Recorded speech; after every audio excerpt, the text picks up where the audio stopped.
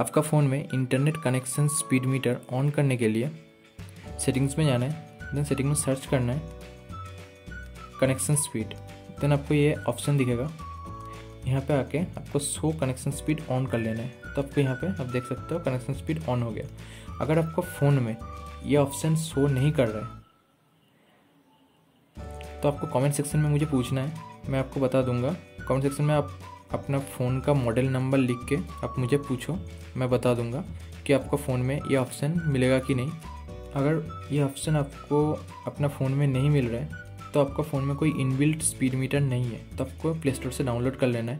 तो उस play store में आके तो प्ले स्टोर में आके इंटरनेट स्पीड मीटर लाइट लिख के सर्च करना है। ये एक सॉफ्टवेयर है 1.5 पॉइंट है, बहुत ही छोटा है, इसको इंस्टॉल कर लेना है।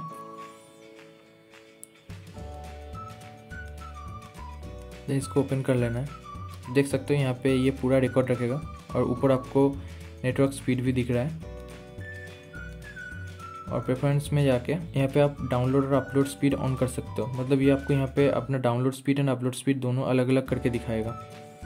स्पीड यूनिट आप चेंज कर सकते हो बाइट्स और या फिर बीट्स आप चेंज कर सकते हो। और कुछ प्रो सेटिंग्स है जिसके लिए आपको ऐप बाई करना पड़ेगा।